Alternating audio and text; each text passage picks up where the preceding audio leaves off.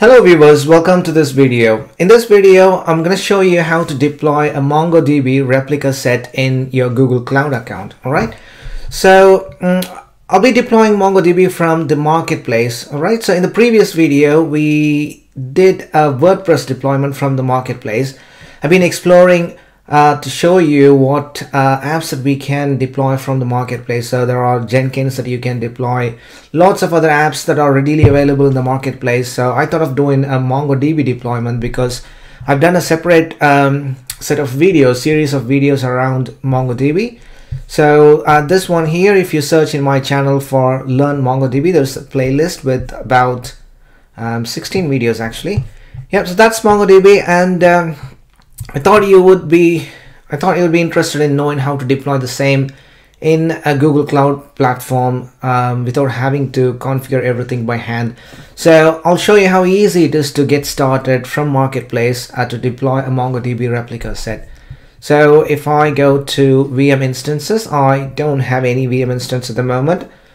So I'm going to go to the Marketplace and search for MongoDB. So there is MongoDB that you can deploy. That's a standalone MongoDB, but I'm interested in uh, MongoDB with replication. So this one here from Bitnami, that's the one I'm going to use, production ready. And if you look here, um, the last updated column, it's May 1st of May 2020. So that's when I'm recording this video, 1st of May. So it's um, very recent and it's a multi-VM type. So it's going to deploy multiple VMs because it's a replica set right? And the MongoDB version is 4.2.6 on, on operating system Debian 9. Okay, so the usage fee is uh, $0. There's no usage fee, but you only pay for the infrastructure. So you're going to get three virtual machine, each with two CPU and 7.5 gig of memory. They are N1 standard 2 and uh, you get a three uh, persistent hard disk of uh, 10 gig. So totally you would be paying $148 per month um, if you are to deploy this as it is. But when I'm deploying, I'm going to reduce the size of these instances. But anyways, you don't have to worry about it because we are just learning it and we will be using our free credits. So I've still got my free credits, which we will see in a minute. Or I can actually show you now. So my free credit, I haven't actually used any of my free credits. So it started with 244 pounds and now it's 243.58. I've only uh, used about um, 40 42 uh, pence so so far. Okay so marketplace. Going to marketplace searching for MongoDB with replication. That's the one. And uh, everything looks good. I verified the cost associated with it. I've looked at the at the version and uh, when it was last updated and so on. Yeah everything looks good. Launch and when we configure it we will be using the deployment manager. It the google cloud platform it's going to use the deployment manager to automatically deploy the, the, the, necessary resources for us. Okay deployment name if you want you can change the name and the zone. I'm going to choose europe west to c. Um, mongodb server nodes. So i'm going to go with three nodes. That's the default so make sure you go with odd number of nodes, all right? So three, five, seven, and so on. So go with three number three nodes. But if you don't want to use three nodes, if you just want to use two nodes, you can add one arbiter node. So if you know about MongoDB, arbiter node is not a data node. It's there just for voting purpose to make the count odd number. Uh, it won't have any data. It can't become a primary node. Uh, but it just acts in the voting process to select a, to elect a new primary node. Okay, so I don't need arbiter. I'm going to go with all three data nodes. So one will be primary and we'll have two secondary nodes. And I'm going to change the machine type to micro, the smallest one, one, one shared CPU and with 0.6 gig of uh, memory. Uh, data type, data disk type, whether standard or SSD, I'm going to leave that as standard. If you want, you can change it. If you want, you can increase the size of the disk, but I think uh, 10 is the minimum for Debian 9 image. Okay, so networking, if you want, you can choose your uh, VPC network, which subnet you want, and so on. Allow SSH traffic from the internet. If you select that, a firewall rule will be created and uh, that will allow SSH to the uh, to these nodes right uh, to the nodes that this deployment is going to create for us but I've already got a firewall rule. If I open up firewall rule I've already got one firewall rule in my VPC VPC1 so that firewall rule it applies to all the targets within this VPC so any resource that I deploy any instance that I deploy to this VPC I will be able to get into it using uh, port 22 so SSH is allowed basically from everywhere so that's my firewall rule. So I don't have to worry about that. Alright so everything looks cool. Let's deploy. The deployment will take about 5 to 10 minutes and once that's deployed we will have three instances three virtual machines and a firewall rule created. But we need to tweak the firewall rule a little bit uh, because when you want to connect to the MongoDB you know the MongoDB uh, runs on port 27017 by default which is not opened to public. So we need to update the firewall um, and then we should be able to connect to MongoDB. All right? So you can see here node 0 node 1 node 2 so it's deploying three nodes and it's also uh, creating the firewall rule so the firewall rule is it opens port uh, 27017 which is the MongoDB's default port. Source tags so all these three VMs can talk to each other on the uh, MongoDB port, but nobody else can talk to that port. So we need to update this firewall. We can either create a new firewall or we can just update this firewall. All right. And the MongoDB root password is here. And once the instances are ready, we're going to be using this root password and connect to the replica set. All right. So I'm going to pause the video and come back when all the nodes have been provisioned.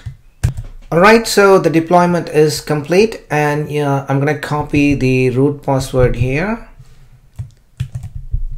Copy and it has given us the IP address of the primary node, but we are not going to connect directly to the primary node.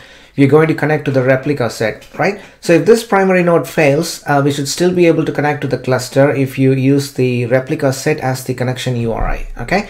I'm going to bring up my terminal here. Let me increase the font size and I've got uh, Mongo installed. Mongo minus minus versions. I've got the Mongo shell installed.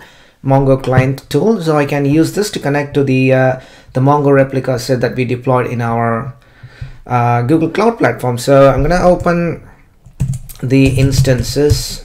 I'm gonna go and uh, go to the compute engine instances and uh, gonna grab the public IP address of all the three nodes. So those are the three nodes that got deployed as part of the uh, the MongoDB deployment. And those are the three IP addresses. I'm going to copy each one of them. And the URL, the connection URI, the connection string that I'm going to use to connect to this cluster is this one, Mongo MongoDB is the protocol. IP address, first IP address, colon port number 27017, comma the second node's IP address. We don't know which one is the master node. So 27017 and finally the last node copy and paste it. 27017 okay so that's the connection string we're going to use.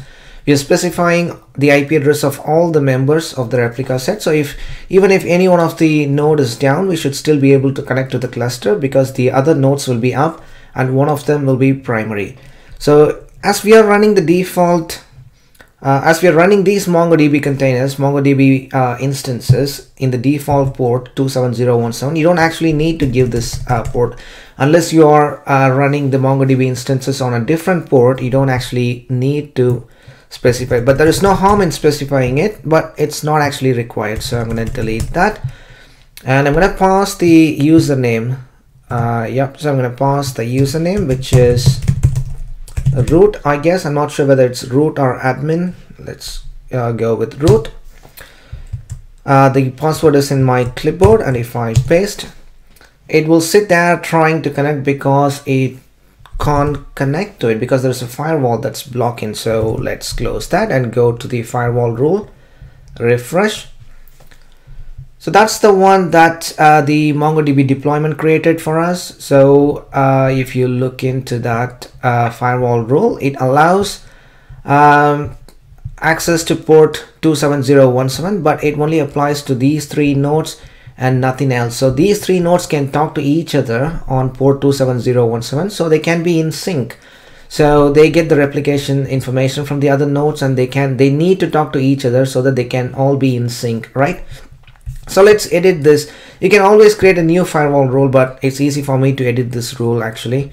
So here I'm going to add a second source filter IP ranges and I'm going to say 0 0.0.0.0 slash 0 so it is from everywhere. If you want you can just um, add your own IP address. Alright so port 27017 that's fine. Save so once this firewall rule is updated it might take few seconds and we should be able to access the the MongoDB cluster MongoDB replica set okay? Let's wait for it. Yeah that's uh, done. Let's launch our browser sorry terminal again. And if I go to MongoDB paste in the password. No authentication failed. So this time it returned immediately. So there's no connection problem but the problem is with the authentication. So I might have used the wrong username here okay the username is admin. Let's try admin and paste in the password. No again it failed. I'm going to go and copy that again. Copy. Did I copy it? Copy and no did I copy it correctly? Yes. Okay let's use the same admin no root yeah sorry sorry about the confusion there so the connection string that I'm using is Mongo. The, port, uh, the protocol is MongoDB, and I'm using the IP address of the all the nodes that I'm using, uh, which is here, the IP address, the public IP address of all the nodes. And because I'm using, uh, because I'm running MongoDB in the default port, I'm not specifying the port in the connection string. But if you're running it on a different port, um, you might need to specify that in here as well and I'm using the username root. So there's a documentation in Bitnami if you go to the deployment page here and if you go to the Bitnami documentation, uh, go to Bitnami support, uh, more information, MongoDB driver. So one of the link here will tell you the user that you need to connect to. So somewhere I found that the username is root. Okay. So and paste in the password so we are connected to the replica set and we are connected to the primary as you know in mongodb replica set you always connect to uh, you can connect you connect to the replica set the write needs to happen from the primary on the primary node you can't write to the secondary node it has to be on the primary node but you can read data by default you read data from primary but you can specify a read preference so that you can read from secondary all right so the write goes to primary and the read uh, goes to the secondary nodes. And let's look at the status of the replica. Replication rs.status. rs is replica set status and if I scroll up the name of the replica set is rs0 and if I look at the members so we have 10.0.1.21 which is 10.0.1.21 so that's the first one. And that's the primary that's the primary node. And the second member is 1.22 which is this one. So that's secondary and it's syncing to 1.21 so it's syncing to primary and that's our third node which is a secondary node and it's syncing to 1.21 it's also syncing from the uh, the primary node okay so let's do one testing here so let's um, shut down the primary node, okay? And uh, once this is shut down, once the node goes down, let's try and access the cluster. Uh, that was the primary node and now there's a heartbeat going on between these three nodes so it periodically checks whether the each every node is all right. So if it can't find a primary node in the cluster one of the secondaries will become the primary all right? So we should be able to access the cluster even when one of the node is down. Let's wait for it to completely stop and then let's try and access the cluster. Alright so VM is now stopped and let's use the same uh, replica set URI to connect to the cluster. Enter the password. Connecting. We should get a prompt here. Yep we got the prompt. And if I do rs.status all right so replica set status. And if you look at the member section here so 1.21 which is the uh, th this instance here which was the primary it says not reachable. Okay so let's look at 1.22 has assumed the primary role. So that 1.22 this instance here uh, this secondary now took the primary role and we have another secondary. Okay so we have the other secondary. All right cool. So now let's try and bring this back again yep I want to start that virtual machine and let's wait for the machine to come up and then let's try and connect to the cluster and see if it has uh, become the primary again or or it stays as the secondary. Okay so that's there. Okay so now let's try and log into the cluster with the same connection string. Paste the password. Primary rs dot status and if I scroll about so remember 1.21 is the primary. So 1.21 when it came up it became the primary again. So it was the primary and then we shut it down.